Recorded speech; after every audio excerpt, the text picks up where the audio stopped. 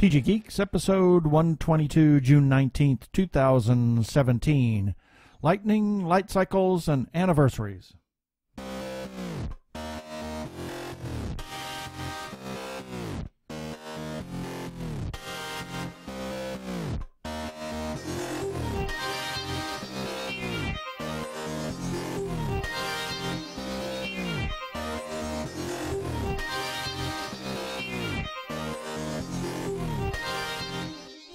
Hello and welcome to another webcast from tggeeks.com where Ben and Keith, the two gay geeks, talk about all aspects of geekdom and nerdery. Sci-fi, comics, film, horror genre, you name it, we talk about it. I'm Keith Lane. We're coming to you from TG Squared Studios in lovely Surface, uh, Phoenix, Arizona. And I'm Ben Raggington, also coming to you from. It's just hot. I mean, it, it's hot. It, it's just hot. It is hot. Phoenix, Arizona. Oh my Hot, hot, God, hot. it's hot. I mean, we just came back from California where it was pretty toasty there, and I'm watching the temperature gauge in our car just skyrocket. Yeah, it's incredible. It's disgusting. Yeah, so we've got uh, a little bit of uh, an episode for you here. We're just going to talk about a few things, and who knows where we'll go from there. So let's get right to it. To all you comic book geeks out there, there's going to be another X Men movie. I'm actually really, really, really happy about this because I A love next Men movie? a Next Men movie. Yes, next, next Men movie. the next next The Men. next Men, next Men. Ne- next Men movie. okay, okay, I've lost it. Um, I'm really happy about this because I love the fact that they've decided to go back in time. I mean, I love the classic cast with Patrick Stewart and Ian McKellen, but it's I think what they've managed to do with uh, the younger cast when they've done, done these flashbacks has been absolutely amazing. I've loved the last several X Men films, and I'm really surprised at this because James McAvoy, who's really uh, kind of amped it up and become an amazing um, theater actor. Uh, I mean, despite what, what I think about the movie Split, which uh, you know you and I both disliked, I you know the only thing that saved it is McAvoy's performance. Right. He was brilliant in that. I mean, the guy's an amazing actor. Michael Fassbender's another amazing actor, and yet McAvoy, who said he was he was done, has signed on to do another X Men film. This one's going to be called, I believe it's about Dark Phoenix. So. Uh, Oh, what we've got here is that Simon Kinberg is officially confirmed to direct Dark Phoenix for 20th Century Fox. He worked as writer slash producer on Last Stand, eh, First Class, Days of Future Past. He also had a hand in Deadpool and Apocalypse. So he's really he really knows the Marvel universe in terms of what 20th Century Fox has done. So I'm very happy about that. If you want to know more about this story, check it out on our website. You can go to tggeeks.com. We'll have a link for this in the show notes. Uh, so that's that's pretty much it that I want to cover on that because I've, I've got other things I want to talk about. Um, Other things? other things. Well, this one I, I kind of want to talk a little bit more about. Um, Arrow Video. We got this press release, and I'm not sure how the heck we got it. Hmm. Uh, Arrow Video is bringing Mario Bava's Kill Baby Kill to home video, DVD, Blu-ray. Mm. And uh, so, again, the article will be on our website.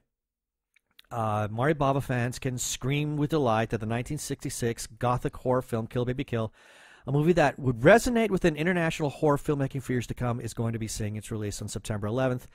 And the plot is this. In the early 20th century, pathologist Dr. Paul Eswai, played by Giacomo Rossi Stuart, who was in The Last Man on Earth, is summoned to a remote Carpathian village to perform an autopsy on a woman who died under mysterious circumstances. With the locals convinced they are being haunted by the spirit of a young girl who died years ago, can the steadfastly rational doctor find a logical explanation to the strange goings on, or will his rational beliefs be destroyed by the dark secret that lies within the crumbling walls of the ancient Villa Graps? Hmm. So uh, this movie is yeah, it's getting its big release. Uh, Kill Baby Kill arrived at what is referred to as the tail end of the golden age of Italian horror, and is regarded by many as Bava's masterpiece. Now, I would recommend people to check out the article, check out the press release that we did run, because there is a whole uh, slew, a list of the special edition contents. Oh, wow.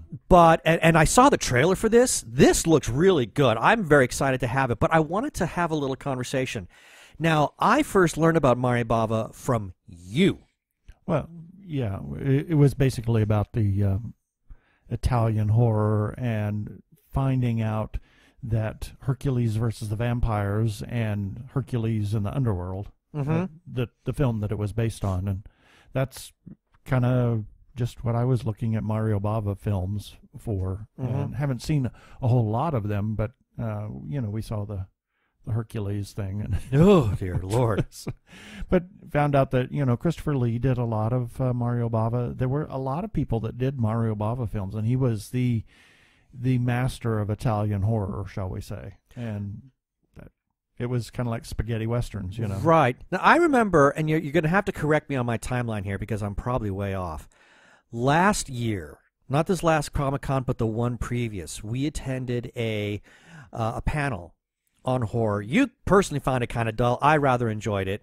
But it was interesting. Yeah, I the information that was given out was very interesting.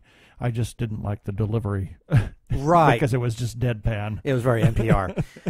uh, and, but afterwards, we were talking to the the panelists. It was basically two people, Yeah. and uh, in fact, one of them she worked for Blumhouse, didn't she? Yeah. Uh, oh gosh, I, I can't remember her name now. It just it was in my brain because uh, Miguel was talking about her just recently. Ah. I, it just Oh well.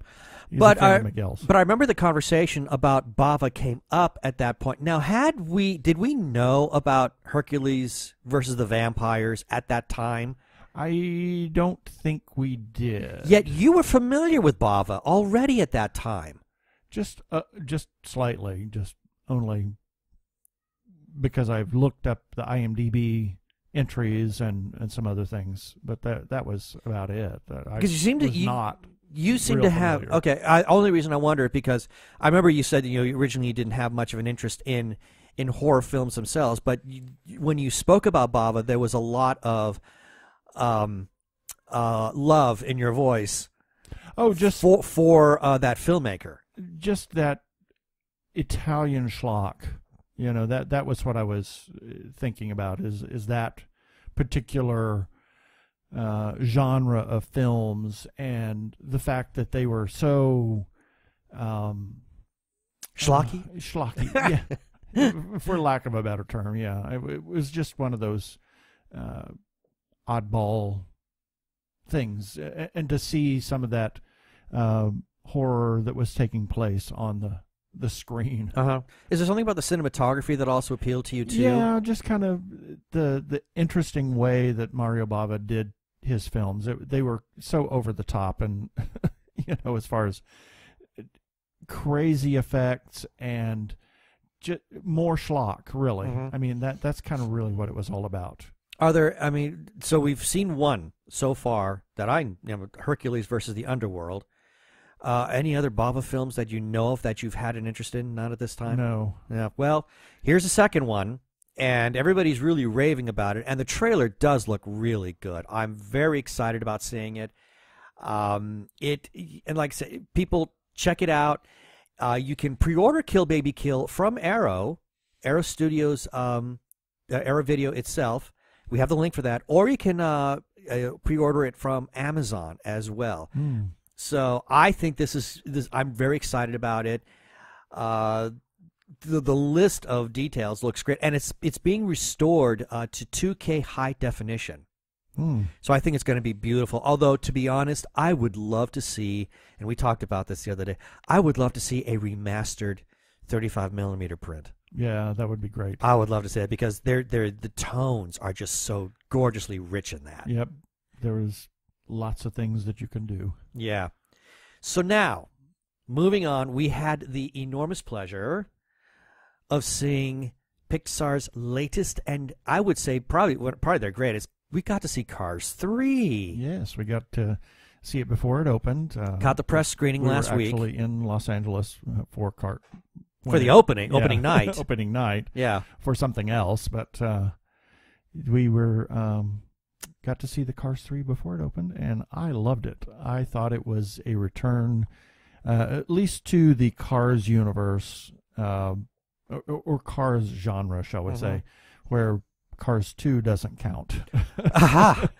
Okay. You know, and I- so I- there's Cars, and then there's Cars, Cars 3. right now i don't want to turn this into uh I, I will point out we have a, a re, uh, there's a review for this movie that is on our on our website tggeeks.com we will have a link for that in our show notes. So if you want to know what i thought about cars 3 and and i do kind of refer to some of keith's thoughts too here and there you can read it there. But i uh, first and without this turning into any kind of bash. No, I, I mean, Cars 2 was okay. It just, it was okay but it just what, doesn't, you don't have to see it to see Cars 3. okay You know that that's that kind of what I meant. Uh, All right. it- it's kind of in a different a different place, shall we say? It, it's kind of a a disconnected story in the Cars universe that features the Cars. It was an extended Characters. um Mater yeah, Mater story yeah, because at the because after Cars and before Cars 2 Mater was was always featured in little little Pixar shorts. He Right. had a whole series of shorts which are terrific.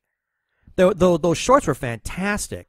Uh, but as uh, for a feature length film, Mater was a little bit too much. yeah. So that that's kind of a loss for me. But now we, we're back to Cars 3, and this is really lightning again. Yep, and it it's back to that the basic characters that start the film, and then he goes off to do something else, and we are introduced to a whole new set of characters uh, that in the racing world, shall we Mhm. say, and without giving away anything, you know, a spoiler.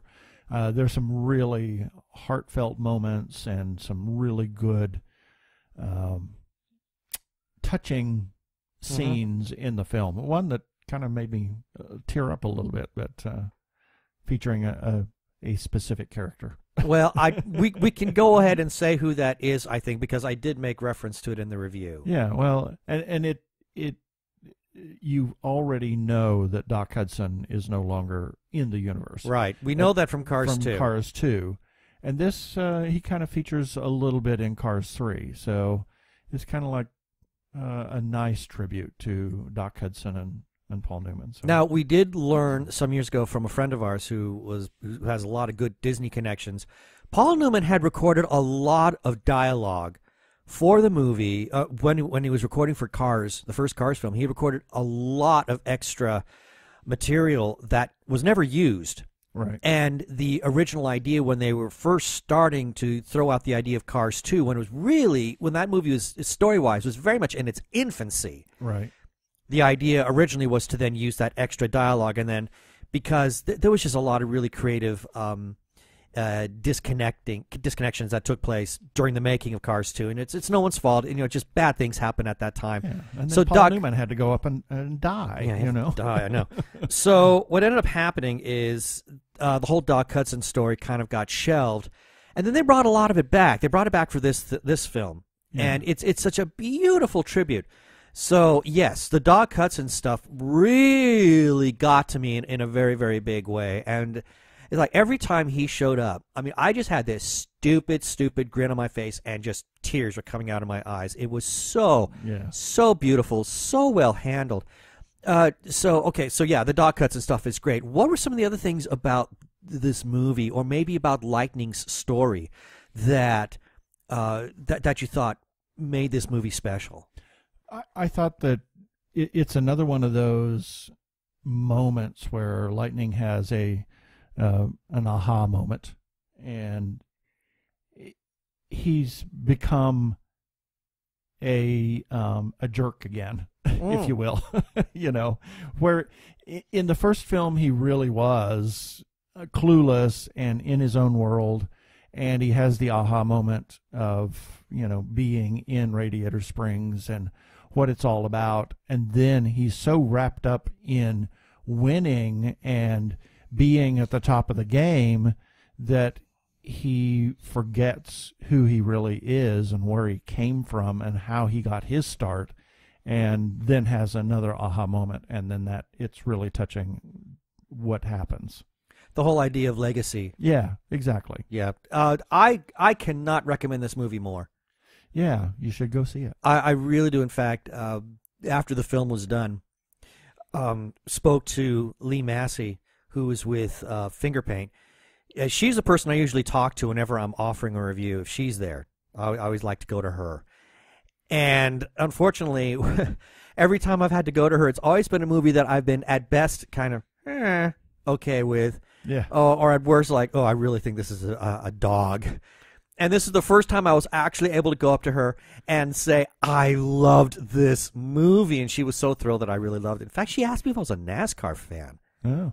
Uh, and I said, no, no, I'm not. But I love classic cars. And, Right. and that's the other thing this movie touches on. There's some, really good classic car moments. Yeah, there are. So really, it's kind of cool. I can't recommend it enough. People, please go see it. Uh, it, it's it's such a joy. The only thing that would have made it better is if they could have gotten Michael Keaton back to play Yeah. Chick Hicks. Yeah, but that you know. But aside from he from only that, had a few lines. Anyway. he only had a few lines. But aside from that, I mean, there was some fantastic, fantastic people. I love Armie Hammer yes. uh, as as uh, Smokehouse Jackson? I think is his name. Mm, Uh, Jackson is, is is the, the the name that he has, but I think his nickname is Smokehouse, but I, I can't remember at the moment. But he's fantastic. I mean, I love the movie. You, I think you'll all enjoy it. So yeah, go check out. And if you want to know again, if you want to know what we think, just check out the link in our show notes for this episode to see our review for Cars Three. Go see it. I'm Joe Ahern, writer and director of the new film B&B, and you're listening to The Two Gay Geeks.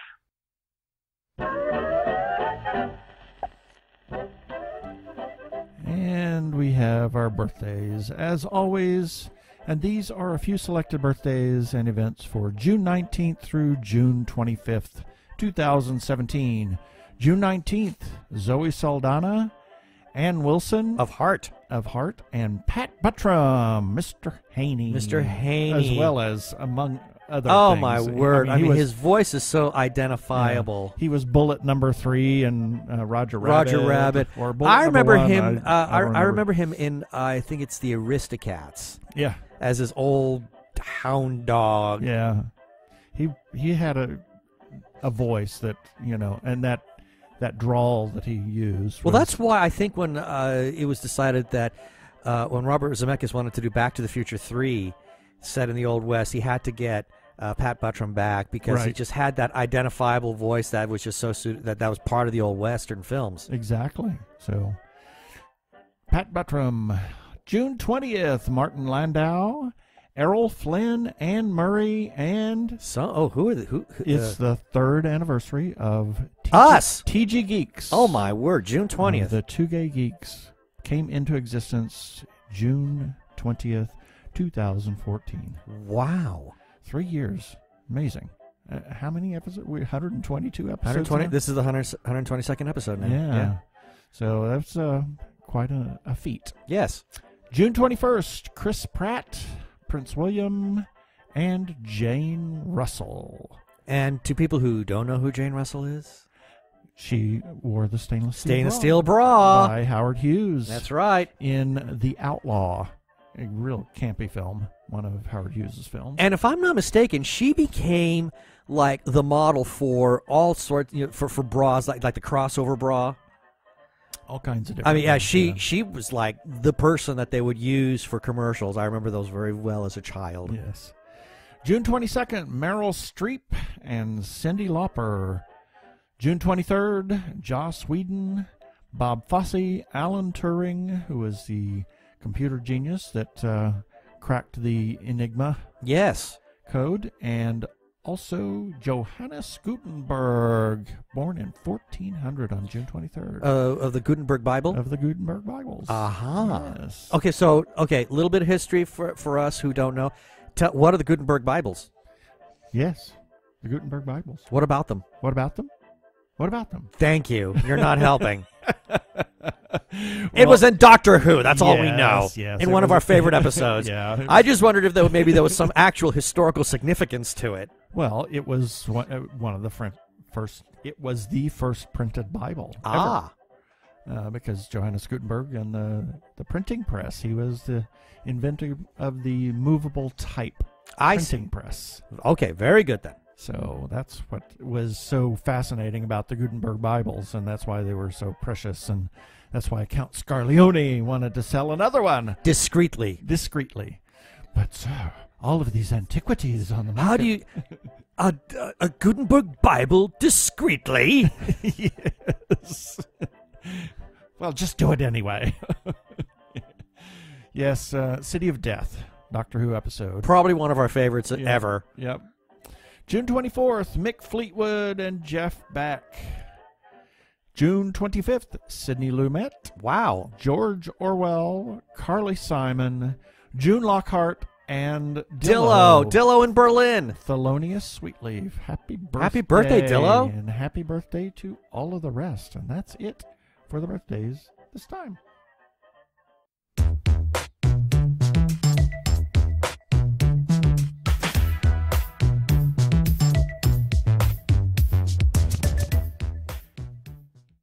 Technorama, the podcast for geeks, because geeks are better than cool.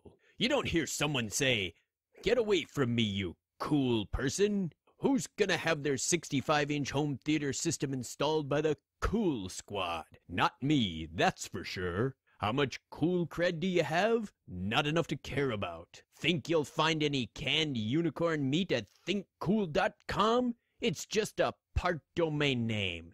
They don't even have roadkill in a paper cup.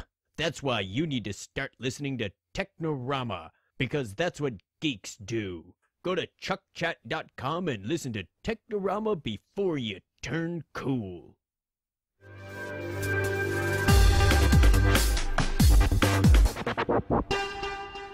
Go give a listen to our friends Chuck and Craig over at Technorama. And yeah, we keep playing Technorama a lot because we don't have any other bumpers for any podcasts. Guys. If you have a podcast or you want to have us feature, we try to feature a podcast every week, a different podcast every week. Uh, get in touch with us on the website, on the contact page, and uh, let us know you have a podcast. No kidding. We'd be happy to share. Yeah, exactly. And now it's time for a little listener feedback. Or as I used to think when, I was a kid, it was feed bag, Feedback. like a horse feed like, bag. like, yeah, okay.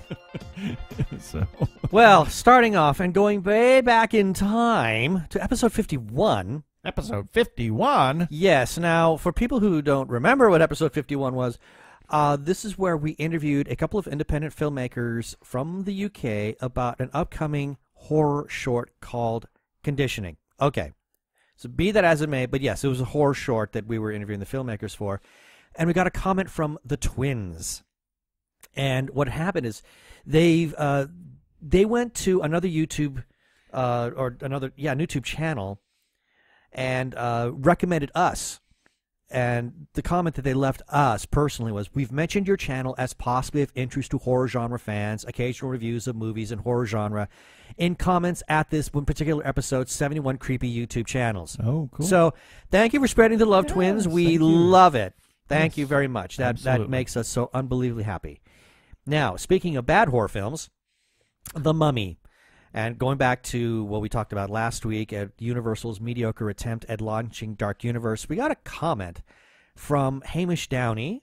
And he says, uh, Doesn't Tom Cruise always play an arrogant jerk in his movies? Yeah, most of the time. Yeah, but you know, he in those other movies, he's kind of likable. He's kind of roguish, and not this one. He's kind of dickish, yeah. to be really honest. And something else, you know, and I, I was just going through my gallery, and I'm, I'm moving some files over, and I found uh, some artwork that we used when we first advertised that Universal was doing the Mummy with Tom Cruise, and they were really trying to emphasize the horror aspect of it in the artwork as Right. part of their press release. And again, I'm like, well, wow, guys, you really missed the boat. Yeah, and uh, interesting. We we just watched the um, uh, episode of Graham Norton last night that had Tom Cruise on it, and he actually showed a picture, or they showed a picture on there of the Dark Universe characters. You know, it's going to be Frankenstein, Right. Invisible Man, and and all of this. And I I I just have some trepidation in their dark universe, uh, trying to Well, the Frankenstein one. that. Yeah, the Frankenstein one could be interesting, and I cannot remember the name of the actor, but he was the antagonist in the latest Pirates film, Yeah, The Dead Pirate. Uh, he's going to be playing Frankenstein, so I think that could be good. The one that has me worried is the Invisible Man. That'll be played by Johnny Depp. yeah. So I'm knows? very worried about that. And Tom Cruise's character will be the one who will tie it all together. right. Uh, so I don't quite know what to think. I'm not all that happy with it. Yeah. Anyway, Anyway, uh, moving right along to uh, last week, we talked about the passing of Adam West. He was TV's Batman. Got a couple of comments. First one from uh, Carol Chernich, your cousin. She says he will be missed, and yes, he will. And then got a comment from uh, your coworker. Dottie Crone. Yes, she writes, I had the biggest crush on him. Rest in peace. Um, a lot of people did. And again, going back to the Comic Con appearance, he looked so vital. Oh, I'm. Uh, I mean, just he he was just he he really. I mean, at that age, he still kind of had some sex appeal going for him. yeah. He was amazing. Yeah. So it was, and it was a, a really good panel. I mean, they we talked about it last time that it was uh, Burt Ward, Adam West, and uh, Julie Newmar. Julie Newmar, and it was a great panel. They really the chemistry is great. You know, it was it was just a lot of fun. Yeah, uh, it, it was great to see that they that they really are such close friends. And then lastly, we have a comment regarding episode 121, and we had read a comment from somebody named Alicia CCTX. She posted it on her YouTube channel, and uh, she writes back in regards to our last episode. E, that was awesome to hear my comment in your podcast. I'm really enjoying this podcast. Great to know y'all read the comments. I'll continue tuning in. Also inspired me to see Wonder Woman. Yay! Glad. I'm, Well, and- and I- know what you think Wonder yeah. Alicia. Yeah. Actually, I would like to know very much what you think about uh, Wonder Woman. It's Yeah. just nice to get uh, some other people's takes. And again, there are no wrong opinions. No, no. We were we were having a discussion actually, uh, and we'll talk about this a little bit more. Uh, you were having a discussion Friday night with uh, Kenny Rotter about Of Dumbles he- and Dragons. Yeah, he doesn't really like the Wonder Woman film. But No. he you know he appreciates it, but you know everybody's got their own opinion, and uh, we like a lot of stuff that people don't, and people like stuff That you we know, don't. that we don't, and people like stuff that That nobody likes. that, that we don't. But I keep saying the same thing. I'm trying to say something else. Well, there's there's not very many uh, options there. Yeah. I mean, there's only two There- possibilities. well, there's a lot of things that people like that we don't, Right. And people, you know, a lot of things that people don't like that we do like. you Exactly. know, and it, it's amazing how much of that. Some of it is like, uh, wow, how could you not like that? Yeah, You know, I- I a lot of remember- panned films. Yeah, I remember really having like. yeah, I remember having some really intense conversations with somebody that used to be associated with Slice regarding Man of Steel. How she thought Man of Steel was like the best superhero movie ever made, and and I just shook my head and said no, Nope. I, I I cannot subs- I cannot support that idea. Yep.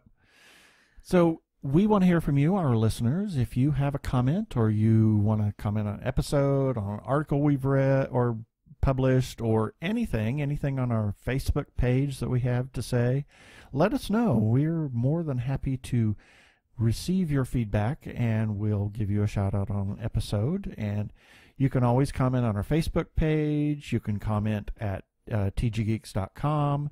You can comment on our YouTube episodes and every article and every episode we have a comment section at the bottom of the page.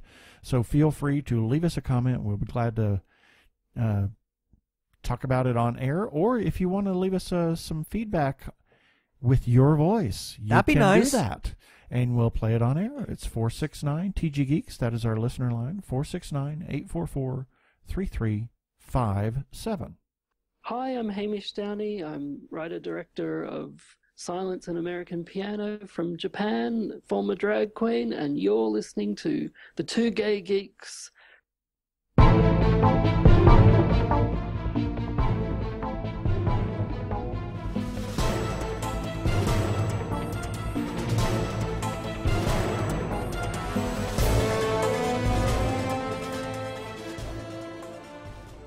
That's the wrong button there. Oh well. uh, lots of button button button. Lots button, of buttons. Button. Who's got the button? Well, you do. yeah, A I've bunch. Too many buttons. Too many buttons. yeah. Now, you made reference to, uh, actually, we both did, uh, to a little trip we took down to Los Angeles. Yes. And uh, what did we get specifically for Tron? Tron and 70 in millimeter. 70 millimeter. The original Tron, 1982 was it? Yeah. 1982 in 70 millimeter. And one of the things that was interesting about Tron is that, uh, and this was at the Gy- Egyptian Theater, and they're doing a bunch of films of, of classic films that were shown originally all over the, the U.S. in 35 millimeter, and they blew them They up blew to up. 70 millimeter. Right. But the thing about Tron is it was filmed in 70 millimeter and was intended to be shown at 70 millimeter. But there's not a lot of theaters that that show 70. Not many that- were, no, because yeah, at this time, at the that time, multiplex was really coming into its heyday. Yeah. and and still is. So whenever that happened, the 70 millimeter screens kind of went away in favor of 35 millimeter, just so you could fit more theaters. Yeah, and this it was amazing. There was uh, at the beginning, and, and this was an actual print. Yes, So they a had 35 millimeter print. Woohoo! A seventy millimeter. A 70 print. millimeter print. Yeah. They had to stitch it together, the whole nine yards, and there at the very beginning, there was like, oh dear, there's so boatload of artifacts. And then all of a sudden, It it, clear- it cleans up, up. and it was incredible. Noticed a bunch of little things that Tiny haven't seen details in- that just- you just don't years. see. Yeah, on the small screen, it was great to see Tron on the big screen in 70 millimeter, and it was just it was fabulous. So that was at the Egyptian Theater. They're doing a bunch of other film uh, films. Uh, we missed 2001, which was back in I would have December. Oh loved to have God, seen because we knew see that, was done in 70 millimeter. I Yep. would have died for that one Yeah. because I've only seen it in 35. Yeah, and we had uh, a bunch of friends that joined us. Mike and, and Della Cohen and Scott and Buffy Lindner and uh, Kenny Rotter. Kenny Rotter of Dungeons and and Dragons and Jonathan Latt Jonathan Latt and, and Rob Palmer. Our friend Rob Palmer, filmmaker.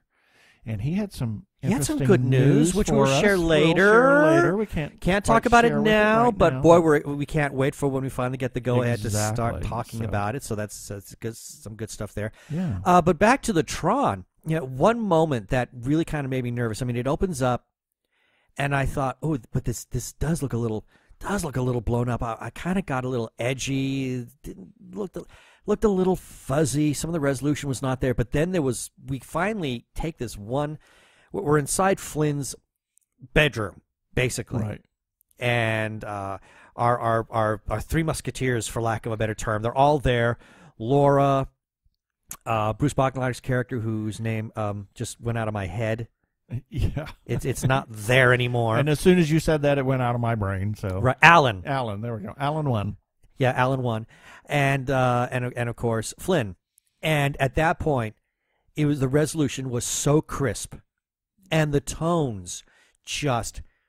Uh, I, I- I mean, and I, we've seen this movie a dozen, dozens, dozens of times. I mean, we have it on Blu-ray.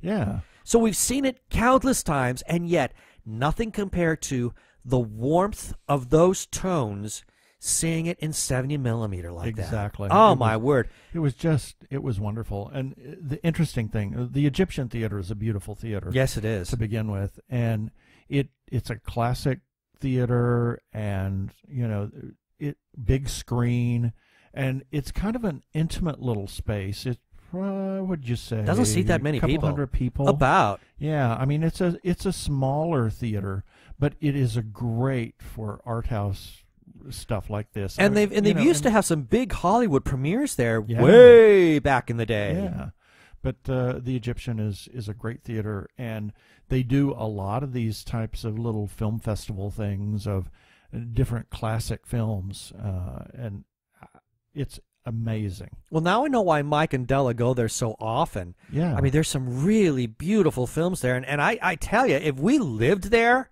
oh my god, we would be living in the theater. Exactly. Pretty much. And it was amazing too in the audience. Uh, there were apparently some people in the business because you got to hear several uh, applause for different people. Lots of had- applause actually for the things to do with the the film. Yeah, every know, time their so- name popped up uh, on the credits, I mean, there was all this applause that came out, and it, I admit some of them were probably just you know diehard fans of the film. Yeah, but I but- think there are some people that are in the industry who really appreciated uh, everything that uh, that these people had done for this film. Exactly. Well, and for the history of film, too. Right. And uh, it's too bad that uh, there's not a, a theater here in Phoenix that not necessarily does 70 millimeter prints, but does 35 millimeter for you know of classic films. Because we were, we were talking about that on the way back from L.A. yesterday, or yeah, yesterday, and that it's a shame that some people have not seen certain films on the big screen Mhm. because you miss something. I mean, you can have the biggest screen, what, 60, 70 inches now, but that's nothing compared to seeing, you know, on the big screen. In a theater, In a theater and with a 35 With a millimeter print. print. a film print because You we know. we compared this to seeing Forbidden Planet on the big screen, but what we saw was a digital projection. Right. They they had a DVD of it. And and it's nice to see digital projection on a big screen, but there's nothing like seeing actual film Right. or an actual print on the big screen. And I- and I wish remember- that there was a theater that did that. Yeah, I remember when we attended the Routinely. yeah when, when we saw the first went attended the very first horrible imagining uh, festivals, and Miguel was just so completely geeking out over the fact that he managed to get a 35 millimeter print of Cemetery Man. Yeah, and and there was another one too, and I can't remember what the film was. another 35 millimeter print uh, that they showed.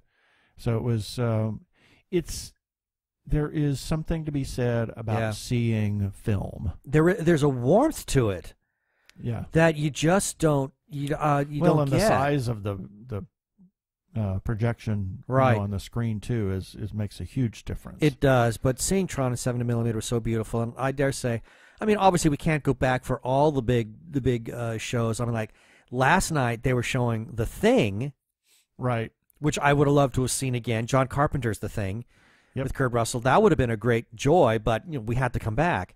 Uh, and we can't go back to every single one of these, but I think we need to kind of keep our eyes open for the ones that For really ones- speak to us. Yeah. And try to make it over as Whenever, the, whenever the many opportunity as allows. can, yeah. yeah, because because it's really great. absolutely. Yeah. So we have uh, something that uh, kind of fell in our lap this week, and a friend of ours that we met at the Jack Kirby uh, celebration last year, Tommy Cannon, he has uh, an event coming up, and this is celebrating independent creators. You know, we've always talked about independent creators and supporting them, and now is uh, a chance that we had to do that, and a chance for you too on Sunday, July 9th at 6:30 at the Torch Theater in Phoenix. Uh, Tommy's going to be hosting Tommy's Motion Comics Bonanza. It's an event celebrating the emerging art form of motion comics. It's five dollars, family friendly, and he's got a GoFundMe account, and that GoFundMe account is to kind of help some of these independent creators that are doing motion comics and kind of get them, you know, a little exposure and to pay for some of the the rent, etc., on that type of uh, event and venue. So um, it's you can get a an original font that he created and a his little cartoon that he does is Fred the Mustard Packet. Check it Mhm. out, Fred the Mustard Packet on uh, just do, go to Google and type in Fred the Mustard Packet, and it will take you to his comic. Mustard as in the condiment. Yes, mustard. Yes. So go do that. And uh, we'll have a, a link to his GoFundMe account. And if you think about it, you know, go and give him a couple bucks and you can be part of that independent comics creation. So, And we'll have the link for that in the show notes too, exactly. uh, as well as and if you want, I think um, if you want to follow him, I believe he is what at Tomo Sobo Az. Is that it? Yeah, T O M O C O B O A Z on Twitter. So check it out. And I think there's a Fred the Mustard Packet on uh, Facebook. You can Yeah, I think Go you've seen him. find th- Fred the I think that's where Mustard you've on seen it Facebook. too. So Tommy Cannon, he's uh, one of our new friends. and Yes. we'll be supporting him in this venture that he has. And we have a few follow-up items, as always. Thank you to whoever it was that invited or invited, Invited us to the Parsec yeah, Awards. yeah, and nominated us for a Parsec Award. We have submitted our um, sub- submission, our um, Submitted our submission. yeah. What am I trying to say? Our um, It's an early morning. We're still segments, yeah, tired. little segments uh, to the Parsec Awards, and we thank you for nominating us. Thank I feel so pretty good about this much. Yeah, I do too. And check out our calendar on the website if you have a birthday or an event or a con or film festival or whatnot. Like Tommy's event, I put that out there on the calendar. Let us know. Send us a note, and we'll be glad to put it on the calendar. And as we have just talked about, we're huge supporters of independent creators, whether it's filmmakers or comic books or writers or whatever. Clothiers. Clothiers, check it out. If they have a GoFundMe, uh, a GoFundMe account or a crowdfunding campaign, Indiegogo, Kickstarter, whatever, check them out. And usually you can get in for very little. Um, you know, sometimes as little as a dollar, sometimes five bucks, sometimes it's more. You never know. It depends on what kind of uh, crowdfunding campaign they are Mhm. running, and you could be a part of something big. Phoenix Comic Con Fan Fest returns to Phoenix on November 11th and 12th, 2017, and there is more info to come. As soon as we, As soon as we know it, anything. we will let you know. And OperaCon by Arizona Opera, October 21st, before Hercules versus the Vampires. That's going to be a fun day. I'm so excited It's about it already. Really exciting. Check out uh, Arizona Opera at azopera.org. Special shout out to Doctor Who Talking Who on Twitter because they published the Doctor Who Fancast Guide, which also also shares uh, some of the articles that we run during the week. You can find the Fancast Guide by looking up Doctor Who Talking Who on Twitter. Their handle is at Talking Who. Also, we have good friend Arkle, Brian Weber. He on Twitter is known as the Nazi Punching Scald, and he publishes the Arkle Times Post Dispatch News that also shares our some of our articles, and you can find him by going to Twitter. He is at Arkle, A R K L E. And he also wants you to check out his incorrect Star Trek Voyager quotes. We've read some in the past. He has those on Twitter, and you will also find that Tumblr. on Tumblr, not Twitter, on Tumblr. Thank you. And he also, we will also run that link on uh, the show notes for this episode. Also, Sci-Fi Obsession. Thank you very much.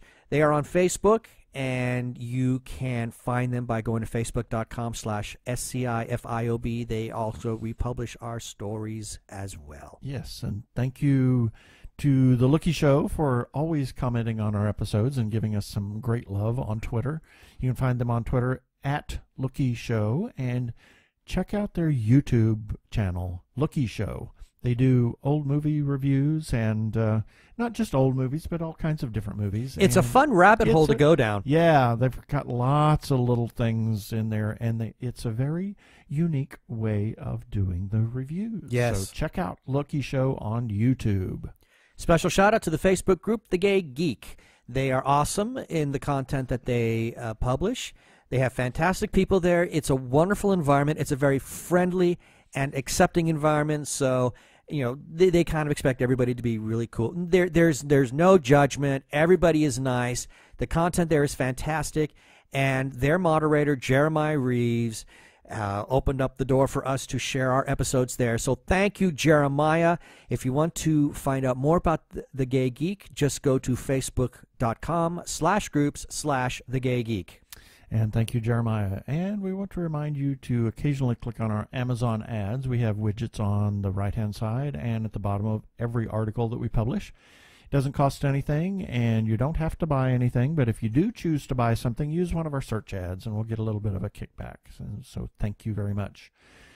We want to tell you that we're going to be in several places. Come Oh, we're, we're putting a number of appearances in, Yeah, aren't we? Yeah, We're getting busy. come see us and say hi. We're going to be at WesterCon on Saturday, July 1st. and that will be we'll be wandering around hopefully during the day, and then in the evening we're going to be doing the Jeannie Koch's Evening Erotica. Oh boy. Yeah, it's going to be interesting. We'll also be at San Diego Comic Con on July 20th through the 24th, and we're going to be on a panel on July 20th at 1.30 over at the library. So come check us out and uh, say hi. We'll also be at Horrible Imaginings Film Festival on Saturday, September 9th, and at Phoenix Comic Con Fan Fest November 11th and 12th. So feel Wow. free to come by and say hi. That's going to be, you know, starting next month, that is going to be just busy, busy, busy. Busy, busy. And lastly, but not leastly, please rate us on iTunes. It, we would appreciate it. Very much.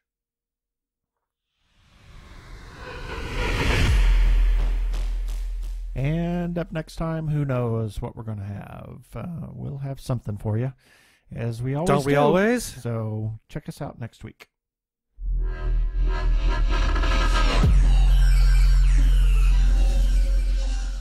Okay, that should do it for this episode of TG Geeks Webcast.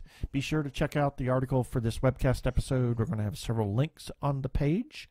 And remember, you can comment on our Facebook page or our website, tggeeks.com, or you can leave us a voicemail at 469 TG Geeks. That is 469 844 3357. From TG Squared Studios, I'm Keith Lane. Thanks for listening. I bid you peace. Cheers.